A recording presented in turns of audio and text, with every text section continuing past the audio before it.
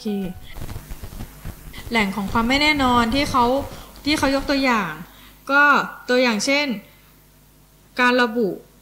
การระบุปริมาณของของสิ่งที่ต้องการวัดเนี่ยค่ะเมชแลนถ้าเราระบุไม่ถูก ก็จะเราก็ไม่รู้ว่าเราวัดอะไรกันแน่ อย่างเช่นเหล็กมีหลายรูปฟอร์ม จะเป็นเหล็ก 2 บวก เหล็ก 3 บวก หรือว่า total ก็ต้องระบุออกมา ก็เป็นการ specify measurement อย่างที่อย่างที่บอกไป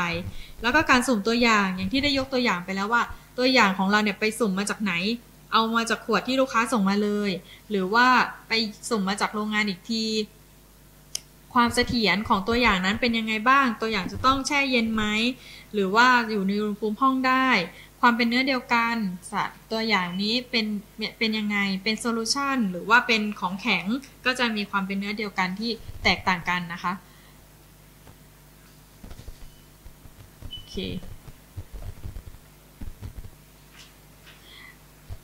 ตัวกราฟมาตรฐานที่จะก็เป็นแหล่งความไม่แน่นอนอันใหญ่อันนึงเหมือนกัน เพราะว่าตัวกราฟมาตรฐานเราก็ต้องเตรียมมาจากสารบริสุทธิ์ เอามาละลายแล้วก็ไดรูทออกมาเป็นความเข้มข้นต่างๆ แล้วก็ไปฉีดออกมาเป็นเส้นตรง ทีนี้ก็เราก็จะมีการตัวตัว uncertainty ที่จะเกิดขึ้นได้จากตัว calibration curve เนี่ยนะคะ ก็คือในการที่เราจะฟิตเวลาที่เราลากเส้น curve อะ ให้ให้ตอนนี้เรา Excel ลากเนาะ Excel เขาก็จะพยายามวาดกราฟเส้นตรงเส้นหนึ่งขึ้นมา ให้อยู่ใกล้กับจุดมากที่สุด แต่มันไม่ได้ทับจุดทั้งหมดเป๊ะ มันก็จะตัวตรงเนี้ยก็จะมีเอ่อเอ่อ uncertainty เกิดขึ้นได้ มีการช่างช่างสสารเพียว การปรับปริมาตรสารเพียว หรือว่าอุณหภูมิก็จะมีส่งผลต่อ uncertainty เช่นกัน เครื่องมือวัด ก็เป็นเป็นส่วนหนึ่งของของแหล่งของความไม่แน่นอนออบางครั้งบางเครื่องตอนเช้ายังยังไม่ยังไม่จะยังไม่ active ดี ก็วัดได้สัญญาณต่ำกว่าตอนบ่าย อย่างตัวตัวอย่างเครื่องชั่งเหมือนกันค่ะ ตอนเช้าเนี่ยกว่าจะนิ่งก็จะใช้เวลานาน ตอนบ่ายก็จะนิ่งเร็วกว่า แบบนี้ก็เป็นเป็นต้น หรือว่าตัว interference ที่ทำให้มารบกวนการวัด เวลาที่วัด e n d o g r a p h o l i ในผงฟ้าทลายโจรมันก็จะมี interference เป็นพวกเป็นเป็นตัวอื่นๆ ที่มีโครงสร้างคล้ายๆกับ e n d o g r a p h o l i มาเกิดเกิดเป็นโชเดอร์ทำให้การอินทิเกรตหรือว่า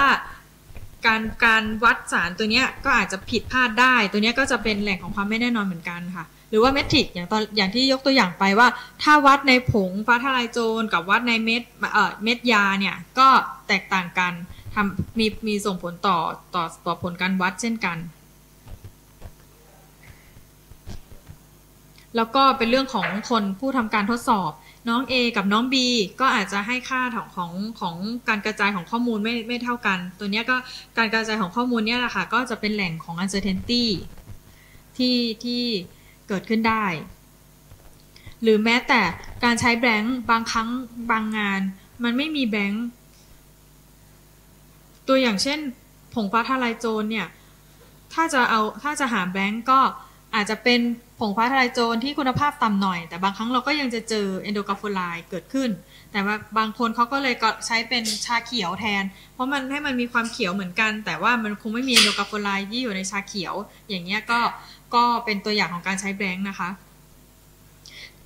แต่ แล้วก็อีกอันหนึ่งที่เป็นแหล่งของความไม่แน่นอนอันใหญ่เลยก็คือเป็น random effect หรือว่าการวัดซ้ำมันก็จะผลของเราก็จะออกมาไม่ไม่ไม่ได้เท่าเท่ากันทุกครั้ง ตัว random effect เนี่ยเราสามารถลดปริมาณของมันลงได้ด้วยการวัดซ้ำยิ่งทำซ้ำมากๆ ก็จะทำให้มันให้ให้ random effect เนี่ยเล็กลงค่ะหรือว่ามี recovery ตัวงานของเราปกติที่เราวัดเนี่ย เราจะต้องใส่ QC sample ลงไปในในใน sequence ด้วยเสมอ เพราะฉะนั้นแล้ว QC sample เนี่ย เราก็จะคำนวณออกมาเป็น recovery ได้ ตัวนี้ก็จะถูกนำไปคำนวณเป็น uncertainty ด้วยส่วนหนึ่งว่าสไปตัว spike recovery เราได้มา 99 เพราะฉะนั้นค่าการวัดของเราก็โอเคควรจะถูกแหละ แต่ถ้าวันไหน recovery เราได้ 110 เคเราต้องไปดูแล้วมันเกิดอะไรขึ้นทำไมมันเกิน หรือได้ recovery แค่ 80 แบบนี้ผลเราก็อาจจะต้องทำซ้ำหรือไม่ก็อาจจะต้อง collect recovery ไป โอเค ตัวย้อนตอนแรกที่บอกว่าใช้สมการ เราจะเราดูจากสมการแล้วเราก็เอาสมการนั้นอะมาใส่ในแผนภูมิกั้งปลา นภูมิก้างปลา fishbone diagram นะ ก็ช่วยในเป็นตัวช่วยที่ดีในการที่จะทำให้เราเริ่มหาตัวแหล่งของความไม่แน่นอนได้ได้ถูกต้องได้ครอบคลุมมากยิ่งขึ้นนะคะ โดย โดยโดยการที่เรา มันไม่สามารถที่จะเขียนกระดานได้นะคะ อย่างสมการตัวนี้ตัวคอปเปอร์กับหน่วยเนี่ยนะคะ ก็จะเป็นก้างหลักก้างหลักของอโอเค อันดับแรก ตัวนี้ก็คอปเปอร์กับหน่วย เป็นก้างหลักก่อน ผลตัวสิ่งต่างๆ เหล่านี้เป็นทำเป็นส่วนประกอบที่ทำให้ได้ค่านี้ออกมา สิ่งต่างๆ เหล่านี้มาจากไหนนะคะ volume mass purity ของ copper homogeneity เนี่ยบางส่วนเนี่ยมาจากสมการ เริ่มต้นจากค่าในสมการที่ที่ได้บอกไปตอนต้น เอาค่าจากสมการใส่ลงมาก่อน แล้วก็มีเพิ่มบางตัวก็เพิ่มมาจากสมการ เช่นค่า purity ค่าหกค่าความเป็นเนื้อเดียวกันของสารก็ใส่ลงมา แล้วเราก็ย่อยว่า volume volumetric เนี่ย มีอะไรบ้างที่เป็นองค์ประกอบของ uncertainty มีอุณหภูมิ มีการ calibrate ตัว volumetric fast แล้วก็มี precision ของการเติมปริมาตรลงไป ตัวการชั่งน้ำหนักจะแบ่งออกเป็น 2 ครั้ง เพราะว่าพอเวลาที่เราชั่งเราไม่สามารถชั่งสารลงบนเครื่องชั่งโดยตรงได้ใช่ไหมคะ เวลาที่เราชั่ง copper เราไม่ใช่มาถึงเปิดตักแล้วก็เอา copper วางลงบนแผ่นของเครื่องชั่งได้เราไม่ได้ทำแบบนั้น เราจะใช้กระดาษรองหรือใช้จานหรือใช้ vial เลย เพราะฉะนั้นการชั่งมันจะมีมาจากการชั่งสองครั้ง uncertainty จึงเกิดมาสองค่าก็คือ m gloss กับ m tear ครั้งแรกเป็นการวางภาชนะเปล่าก่อน และครั้งที่สองบางบางคนก็จะใช้วิธีการแทแล้วก็เติมสารลงไป แล้วก็อ่านค่าของการแทนนั้นนะคะ เป็นน้ำหนักของของของคอปเปอร์หรือของสารที่เราต้องการช่าง เพราะฉะนั้น uncertainty จึงเกิดจึงมีสองครั้ง โดยตัว ย่อยของ uncertainty ก็จะเป็นการ calibration มี linearity precision มี temperature แล้วก็มี buoyancy effect มีอะไรบ้างเราก็ใส่ลงไปก่อน แล้วเดี๋ยวต่อมาค่อยตัดนะคะว่าตัวไหนที่ซ้ำกัน ตัวต่อมาเป็น purity ของ copper เวลาที่คำนวณ มันจะต้องใช้ purity ของ copper เนี่ยไปคำนวณด้วย ตัวค่าของ purity เนี่ยมาจาก ค่า certified value แล้วก็ stability แล้วก็ homogeneity 3 อย่างนี้เป็นองค์ประกอบของ uncertainty ของของค่าของ purity ค่ะ ต่อมาเมื่อกี้ในแผนภูมิก้างปลาเราใส่ทุกอันลงไปหมดแล้ว ต่อมาก็เป็นการตัดอะไรตัวไหนที่เหมือนกันให้ตัดออก ตัวไหนที่หักล้างกันก็ตัดออก ตัวไหนที่เหมือนกันแต่เกิดเหตุต่างกัน ก็ให้ใส่ซ้ำให้เห็นความแตกต่าง หรือว่าเอฟเฟกที่ไม่มีนัยสำคัญก็ให้ตัดออกไป จากตัวนี้ M เมื่อกี้มีสองค่ะกิ่ง M g o s กับ M t a r เราก็ตัดออกเหลือ M เดียวเป็น M net แต่ว่าทั้งสองกิ่งนี้ก็มาจากมาจาก M M g o s กับ M t a r แล้วก็มี calibration มี calibration กับ precision เดิมทีตอนแรกตรงนี้เขาจะมี buoyancy effect มี temp มีหลาย ๆ สิ่งสุดท้ายแล้วเหลือแค่ calibration กับ precision นะคะอ่า calibration ตัวนี้ได้มาจาก เวลาที่เราส่งส่ง เวลาที่เราแคลเครื่องช่างเนี่ยเขาก็จะมีใบเซอร์จากจาก ผู้แคลให้เราจากจากแลบที่แคลให้เราเนี่ยเขาก็จะใส่ค่าของ uncertainty ของ calibration มาให้เราด้วย แล้วเขาก็จะระบุด้วยว่าเครื่องช่างนี้มี precision เท่าไหร่ ตรงตรงเนี้ยมันก็จะมาจากใบเซอร์นะคะ ส่วนตัวนี้เป็นปริมาตร การปรับปริมาตรเนี่ยจะมี uncertainty 3 3 3 3แหล่งด้วยกันก็คืออุณหภูมิ เพราะว่าการอุณหภูมิมีผลต่อการขยายตัวของของเหลวในในใน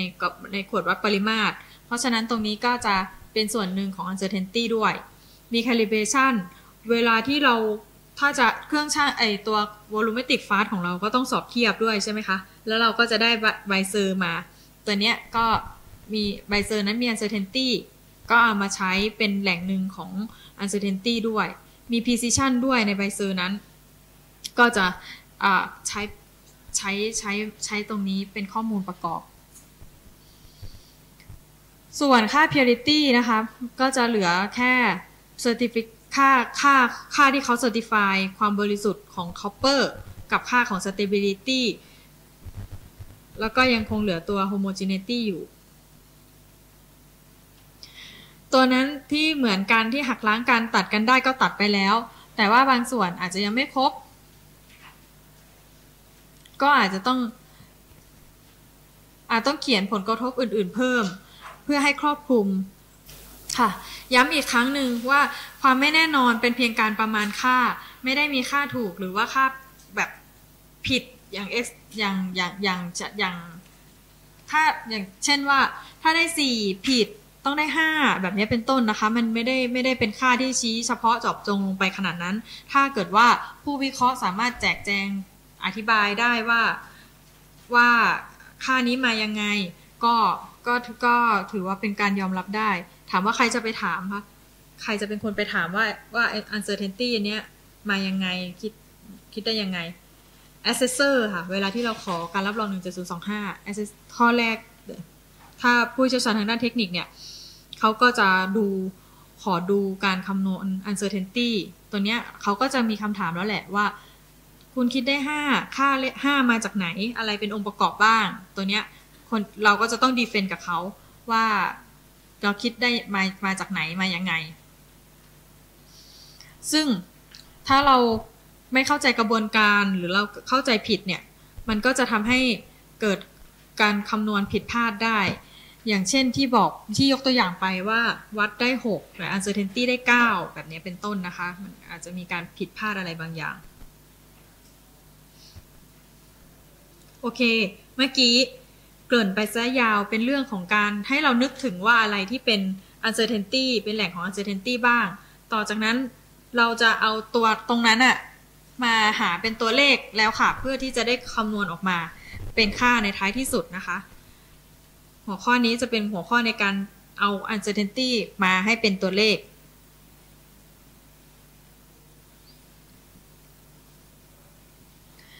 ตัวแหล่งของ ตัวเลขของ uncertainty ที่เราจะได้มาอย่างแรกเลยก็คือเป็นใบ certificate ของของของต่างๆ ที่เกี่ยวข้องกับงานวัดของเรา ของขวดวัดปริมาตรเมื่อกี้นี้ที่ที่ใช้ในการปรับปริมาตรทองแดง เขาก็จะ certify ว่าขวดวัดปริมาตรเนี้ยมีปริมาตร 100 ml บวกลบ 0.1 ml ตัวไหนที่เป็น uncertainty ก็คือ 0.1 ml ตัวนี้เป็นเป็น uncertainty ของของของขวดวัดปริมาตรขวดนี้นะคะ หรือวัสดุอ้างอิงของสาร A มีไม่น้อยกว่า 99%ตัวนี้ก็ที่ยกตัวอย่างไปตอนตอนต้นตอนต้นเริ่มการบรรยาย ว่าการระบุแบบนี้ก็เป็นตัวอย่างหนึ่งของการบอกช่วงความไม่แน่นอนของการวัด หรือบอกช่วงของ uncertainty ตัวเนี้ยเขาบอกพอเขาบอกมาแบบเนี้ยแล้วเลขอะไรถึงจะถึงเราถึงจะนำไปใช้ เขาบอกว่าไม่น้อยกว่า 99 เพราะฉะนั้นก็คือตั้งต้นที่ 99 ย้อนกลับไปสไลด์แรกที่มันเป็น x แล้วก็ u แล้วก็ u นะคะ 99 ทีนี้สิ่งที่เราต้องการหาตอนนี้ก็คือเราจะหา x ตัวนั้นอะ x เป็นเท่าไหร่ แต่เรารู้แล้วว่า u ฝั่งซ้ายคือ 99 ฝั่งขวาคือ 100 เพราะสารไม่สามารถที่จะ มีความบริสุทธิ์มากกว่า 100%ได้ 99 ถึง 100 อะไรคือตรงกลางคะ 99.5 เพราะฉะนั้น x ตัวนั้นก็คือ 99.5 บวก 0.5 ได้ 100 แล้วก็ลบ 0.5 ได้ 99 เพราะฉะนั้น ไอ้คำว่าไม่น้อยกว่า 99%จริง ๆ แล้วมันคือค่า 99.5 บวกลบ 0.5 เพ ราะฉะนั้นสิ่งที่เราจะนำไปใช้ก็คือค่า 0.5เปอร์เซ็นต์นะคะ ตัวนี้ก็คือเป็นเป็นค่า uncertainty ที่มากับวัสดุอ้างอิงชนิดนี้ ตัว method validation เนี่ย ที่ได้บอกไปตอนแรกว่า method validation ให้ค่าให้แหล่งของ uncertainty ได้ทั้งสองอย่างก็คือ precision กับ bias สองค่านี้ก็จะถูกนำไปคำนวณกับผลการวัดของเราด้วย แล้วก็มี UC 0 การสร้างกราฟมาตรฐานจะจะได้ answer ชื่อว่า UC 0 บางที่อาจจะเรียกไม่เหมือนกับที่เราเรียกนะคะ แต่สถาบันแต่ว่าเราเรียกแบบนี้ ถ้าไปเรียนคอร์สสถาบันมาตรเราก็จะได้ยินคำว่า UC 0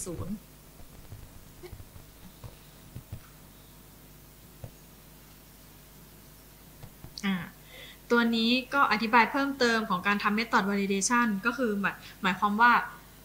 เเวลาที่เราไปหยิบเอา official method มาเนี่ย เราก็จะต้องแสดงให้เห็นว่า ความผลการวัดของเราความสามารถของห้องปฏิบัติการเนี่ยยังให้สมรรถนะสมรรถนะที่เหมือนกับกับ official method เพราะว่าตัว official method เนี่ยเขาจะมาพร้อมกับค่าของ LOD LOQ ตัวนั้นมาด้วยอะค่ะ แล้วเขาแล้วแล้วเราก็เราก็ต้องทำทำทำตามวัดหา LOD LOQ แล้วก็ให้มันแมทช์กับกับตัว official method โอเค เพราะฉะนั้นเราก็จะมีค่าพอตัววิธีวิธีของเราหรือค่าจากแลบของเราเนี่ย เราจะต้องทำจะต้องโชว์ให้เห็นว่า precision กับ bias เนี่ย ยังอยู่ในเกณฑ์ยอมรับนะคะ โอเค อันนี้ตัวนี้เป็น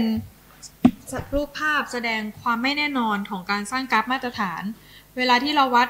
สร้างกราฟเนี่ย ตัวนี้เขาสร้างกี่ความเข้มข้นคะหนึ่ง สองสามความเข้มข้น แต่ความเข้มข้นของเขาเนี่ยเขาวัดซ้ำหลายจุด การแต่ละจุดก็จะมีการกระจายของข้อมูลที่ต่างกัน เพราะว่าไม่ได้วัดแล้วหยุดหยุดอยู่ที่เดิม ทีนี้เวลาที่ Excel เขาสร้างกราฟเนี่ยเขาก็พยายามที่จะผ่านให้ครบทุกเส้นนะคะ เพราะฉะนั้นตัวนี้มันก็จะทำให้เกิดออกมาเป็นเนี่ยเขาบอกว่าพยายามให้ให้เกิดฟิตให้มากที่สุด ตัวนี้เราก็จะมีค่า uncer ของกราฟเนี้ยออกมา สิ่งเหล่านี้เราไม่ต้องคำนวณเองแล้วค่ะ Excel เขาจะคำนวณให้เรา เดี๋ยวเราไปหยิบเอามาใช้จากจากจาก Excel ให้ได้ให้ได้ถูกต้องเท่านั้นเอง ตอนถ้าเรียนของคอร์สของสถาบันเนี่ย เราก็จะสอนให้ให้ทำให้ใช้ให้เข้า Excel ทำตัวนี้ด้วย ตัวค่าความไม่แน่นอนจากการทำซ้ำก็คือเรียกว่า standard deviation of the mean มีสูตรก็คือ standard deviation หารด้วย square root n n ก็คือจำนวนครั้งในการวัดซ้ำ อย่างเราวัดซ้ำหนึ่งครั้ง n ตัวนี้ก็คือเท่ากับ 1 เพราะฉะนั้นมันก็จะมาจากสแตพอเราวัดซ้ำเนี่ย ค่า s ตัวนี้ก็คือเป็นอันเป็น SD ของของ method validation แต่ถ้าเราวัดสองสองครั้ง n ก็จะเป็นสอง แบบเนี้ยเป็นต้นนะคะ ตัวนี้ก็เป็น type A เป็นการประเมินเป็นเป็นเป็นเป็นซอสของ uncertainty type A นะคะ โดยใช้ข้อมูลของการทำ intermediate precision ก็คือเป็นการเก็บข้อมูลของการทำซ้ำมาแต่แต่ตั้งหลาย ๆ วันมาแล้วเนี่ยแหละ แล้วก็ได้ SD ออกมา เอามาหารด้วยจำนวนซ้ำในการวัดซ้ำของวันนั้น ๆ ค่ะ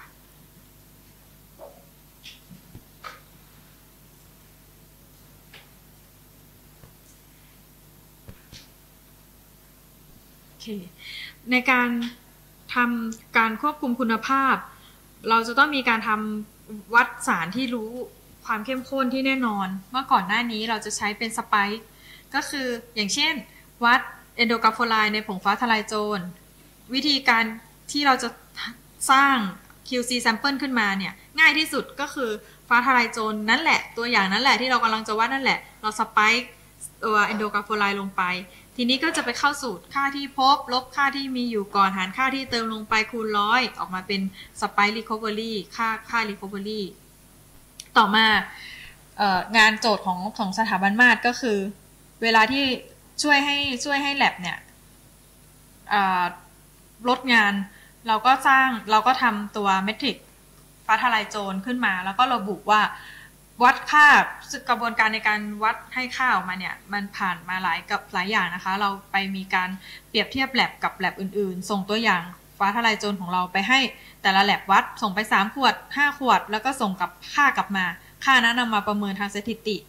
ออกมาเป็นค่า certified value ว่าฟ้าทลายโจรขวดนี้ล็อตนี้มีเอนโดกาโฟไลกี่มิลลิกรัมต่อกรัม แล้วเราก็ขายให้กับห้องปฏิบัติการวิเคราะห์ทดสอบใช้ไปเป็น QC sample ได้ หรือทำ method validation ได้ เพราะฉะนั้น เวลาที่เราเวลาถ้าเราใช้ CRM ที่ยกตัวอย่างไปเมื่อกี้ ใช้ในการควบคุมคุณภาพ สกัดออกมาคู่ไปกับตัวอย่างของเราเลย เราช่างตัวอย่าง5 v i a l ช่างตัว QC sample 2 v i a l ใส่ไปในในซีเควนต์เดียวกันวัดค่าออกมา โดยที่เรารู้แล้วแหละว่าตัวตัว CRM เนี้ยมันจะต้องได้ค่าเท่าไหร่ ตัวเนี้ยก็จะถือว่าเป็นเป็นเป็น bias ได้ค่าออกมาเป็นค่า bias ได้ได้ใช้ในการควบคุมคุณภาพของผลการวัดวันนั้นๆ ของเราด้วยนะคะ ทีนี้เขาก็บอกว่าตัวอย่างที่ที่ที่ดีเอ่อที่ดีของ QC sample ก็คืออันดับแรกก็ต้องมีมีมีความเข้มข้นที่ใกล้เคียงกับตัวอย่างของเรา ถ้าสมมุติว่าตัวอย่างของเราความเข้มข้นต่ำแต่ QC sample ความเข้มข้นสูง ตัวนี้ก็ ไม่ดีนะคะ เพราะว่าทำให้1 cal curve เราก็ต้องสร้างสร้างให้มันคุมทั้งทั้งตัวอย่างที่ต่ำแล้วก็ QC ที่สูง หรือแม้แต่กระบวนการในการสกัด การสกัดสารที่มีปริมาณมาก ย่อมง่ายกว่าสารที่มีปริมาณน้อย อย่างเงี้ยก็ถือว่า QC sample นั้นยังไม่ยังไม่เป็นตัวอย่างที่ดีพอ ต้องมีเมทริกเดียวกัน มีเมทริกที่ใกล้เคียงกัน อย่างที่ยกตัวอย่างไปว่า ถ้าเราหาปริมาณในโดกาโฟไลในผงฟ้าทลายโจร QC sample ก็ควรที่จะเป็นผงฟ้าทลายโจร ไม่ใช่เป็นเมล็ดยา ไม่ใช่เป็นเม็ดยานะคะ ไม่ใช่โดกาโฟไลที่เป็นเม็ดยา เพราะฉะนั้นสองอย่างเนี้ยเมทริกต่างกัน ตัวสิ่งรบกวนก็ต่างกันวิธีการในการสกัด หรือสกัดออกมาได้แล้วก็จะต่างกัน อย่างนี้ก็ไม่ใช่ QC sample ที่ดีมีต้องมีการเตรียมตัวอย่างแบบเดียวกัน อย่างที่บอกไปว่า QC sample ต้องถูกวัดไปพร้อมกับตัวอย่างของเรา เพราะฉะนั้นการเตรียมตัวอย่างต้องเป็นแบบเดียวกัน ถ้าเป็นเม็ดยาเราก็ต้องเตรียมแบบนึง ถ้าเป็นผงก็ต้องเตรียมแบบนึง อย่างนี้ก็ไม่ถือว่าเป็นตัวอย่างที่ดี แล้วเราก็เอาค่าที่ที่ QC sample เนี่ย วัดวัดแล้วก็เก็บข้อมูลอย่างน้อย 20 ค่านะคะพอดออกมาเป็น control chart แล้วเราก็จะได้ค่าคำนวณออกมาเป็น standard deviation ตัวเนี้ยก็จะเก็บไว้เป็นแหล่งหนึ่งของความไม่แน่นอน ว่ามันจะอยู่ในข้อ bias ว่าถ้าเราวัดว่า เราวัดสิ่งที่เรารู้ค่าตัวเนี้ยมันเพี้ยนไปกี่เปอร์เซ็นต์นะคะเนี่ยออกมาเป็น control chart ได้มีได้ S ได้ SD ออกมา แล้วก็นำค่าเหล่านี้ไปคำนวณไปเป็นไปเป็นแหล่งหนึ่งของ uncertainty โอเค เราได้ตัวเลขที่เราจะใช้ในการคำนวณ uncertainty และต่อมาเราก็จะเอาตัวเลขนั้นนะคะ เปลี่ยนให้เป็น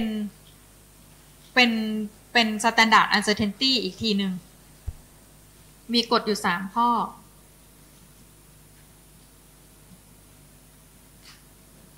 อมีมีกฎอยู่ 3 ข้อ เขาบอกว่านำค่าที่เราคุยกันเมื่อกี้ แต่ทั้งจากใบ cert จากวัสดุอ้างอิงรับรองที่บอกว่า 99 มากกว่า 99%ตัวนี้ใช่ไหมคะ เอามาหารด้วย factor ที่เหมาะสม ขึ้นอยู่กับการรูปแบบการกระจายขององค์ประกอบนั้นๆนะคะ ว่ารูปแบบการกระจายก็อย่างเช่น ถ้าสมมุติว่าเราปรับปริมาตรในขวดวัดปริมาตรเนี่ย โอกาสที่การกระจายของของการการปรับอะ่ะ มันก็จะเข้าใกล้เส้นมากกว่าใช่ไหมคะเดี๋ยวไปดูภาพในสไลด์ต่อต่อไป เขามันจะแบ่งออกเป็นสามสามประเภท ค่าที่เราคุยกันเมื่อกี้ มันจะแบ่งเป็นสามประเภท ประเภทแรกก็คือเป็น standard deviation เลย ประเภทที่สอง ก็คือเป็นค่าที่มีแหล่งของมีช่วงความระบุช่วงความเชื่อมั่น กับอีกค่าหนึ่งเป็นเป็นช่วงเฉยๆที่ไม่ระบุความเชื่อระบุความเชื่อมั่น อย่างเช่นผู้สารวัสดุอ้างอิงมีความบริสุทธิ์มากกว่า 99%ก็จะตกอยู่ในกรณีนี้ หรือแต่ถ้าสมมติว่าเราซื้อวัสดุอ้างอิงรับรองที่มีค่า 95 99.5 บวกลบ 2.5 ที่ 95%ความเชื่อมั่น ตัวนี้มันก็จะมาตกอยู่ในเป็นเป็นกรณีของตัวนี้ไป แต่ถ้าเขาบอกว่าเออ standard deviation ของการทำซ้ำของตัวเนี้ยมีค่าเท่านี้ แล้วก็จะมาตกอยู่ในข้อจะเป็นกรณีของข้อนี้นะคะ ทีนี้กฎเขาก็บอกว่า ถ้าค่าข้อมูลความไม่แน่นอนที่อยู่ในรูปของ standard deviation เนี่ย สามารถนำมาใช้ได้เลย ไม่ต้องหารอะไรแล้ว ไม่ต้องหารด้วย factor อะไร แต่ถ้าโอเคเขาก็อธิบายว่าเป็นเพราะว่าไอ้ค่าที่เป็น standard deviation เนี่ย มันมีการกระจายเป็นรูปโค้งระฆังคว่ำเป็น normal distribution เพราะฉะนั้นก็ไม่ได้ต้องไปหารอะไรเพิ่มนะคะ แต่ถ้าเขายังคงอธิบายอยู่ ทีนี้ตัวอย่างของของการกระจายแบบ แบบปกแบบ normal distribution ก็จะเป็นค่าที่เกิดจากการทำซ้ำหรือการแสดงในรูป SD ตัวอย่างเช่นเขาบอกว่าความเข้มข้นของสารละลาย A เนี่ย มีค่าเท่ากับ 100 บวกลบ 20 ppm ที่ระดับความเชื่อมั่น 95%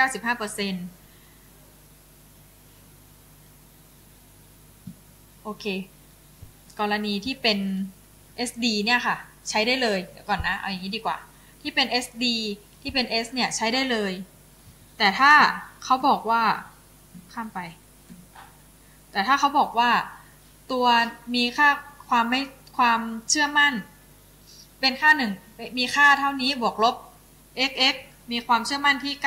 95%ให้นำมาหารด้วย 2 หรือหารด้วย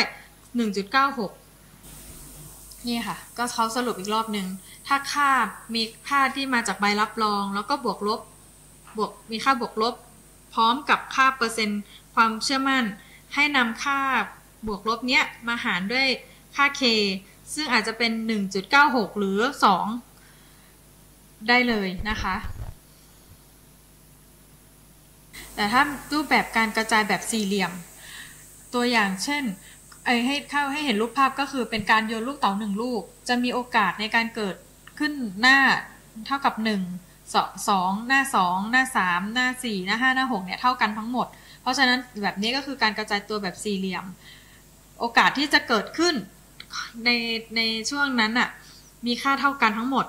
ก็จะเป็นการกระจายตัวแบบสี่เหลี่ยมนะคะ การกระจายตัวแบบสี่เหลี่ยมเนี่ย เช่น ค่าของความบริสุทธิ์ของสารที่ไม่ระบุช่วงความเชื่อมั่นที่เขาบอกว่าสารมีความบริสุทธิ์ 99%ขึ้นไป หรือว่าอันนี้ระบุช่วงมาให้ 99.9 บวกลบ 0.1 ก็แต่ไม่ได้บอกว่าช่วงความเชื่อมั่นเท่าไหร่ อันนี้เรียกว่าการกระจายตัวแบบสี่เหลี่ยม มีโอกาสที่จะเป็น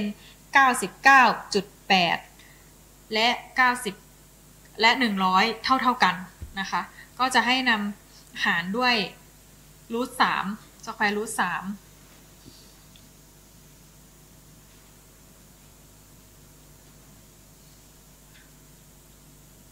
ค่าความไม่แน่นอนที่เกิดที่ระบุที่สเปคของเครื่องมือ ก็เป็นประเภทที่มีการกระจายตัวแบบสี่เหลี่ยม ก็หารด้วย root สามเช่นกันค่ะ การกระจายตัวแบบสามเหลี่ยม ค่าความไม่แน่นอนที่มีการกระจายตัวแบบสามเหลี่ยมก็คือ ก็คือแปลว่ามันมีโอกาสที่เกิดกระจายใกล้ค่าใดค่าหนึ่งมากกว่าค่าอื่นๆนะคะ อย่างเช่นยกตัวอย่างเขาเรียกให้เห็นภาพก็คือการโยนลูกเต๋าสองลูกเนี่ย มีโอกาสที่จะเกิดค่าตรงกลางมากกว่าค่า 1 หรือค่า 12 มีโอกาสที่จะเกิด 6 มากกว่า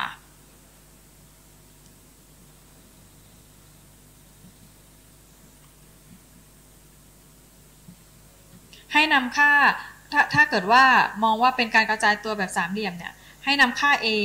บวกลบ a เนี่ยมาหารด้วย square root 6ค่ะ ทีนี้ ใน Eurachem อะเขาก็บอกว่ามันมีการกระจายตัวแบบสามเหลี่ยม มีการกระจายตัวแบบสี่เหลี่ยม เราจะถ้าสามเหลี่ยม root สามขอโทษ ถ้าสี่เหลี่ยมหาร root สามถ้ากระจายแบบสามเหลี่ยมหาร root หกแต่ทีเนี้ยในกรณีของสถาบันมาตรเราจะไม่ได้หารด้วยรูทรูทหกเรามักจะหารด้วยรูทสามเสมอนะคะ เพื่อตีโตไว้ก่อน แต่กรณีแต่กรณีในแบบฝึกหัดเนี้ยเราก็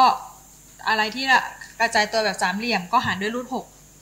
ขอโทษนะพูดให้งง โอเค ถ้ากระจายตัวแบบสามเหลี่ยมหารด้วยรูทหกถ้าถ้าไม่มีข้อมูลเพียงพอ หรือกระจายตัวแบบสี่เหลี่ยมให้หารด้วยรูทสามแต่ถ้าบอกบอกช่วงเปอร์เซ็นต์ความเชื่อมั่น ให้หารด้วยค่า k ก็คือหารด้วยสองค่ะ